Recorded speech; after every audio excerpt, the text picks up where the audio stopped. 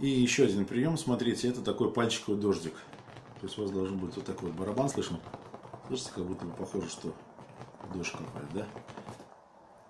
Переходите вот на подбородок. Тут достаточно сильно можно делать. Но тоже все движения идут от центра к периферии и уходят по вот этим мышцам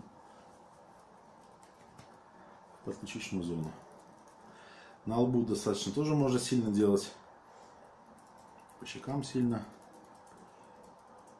Можно, кстати, вот так вот с этой стороны руки. Ну, то есть вот этими сторонами прошлепать, да? Тыльными. Вот. Только единственное, что вокруг век мы останавливаем наш темп и делаем совсем легенько, легенько, легенько, аккуратненько, аккуратненько.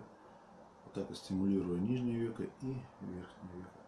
Прям как будто бы даже это не дождик, а такой, знаете, такая легкая дрожь. Так мы так легонечко, легонечко подражали.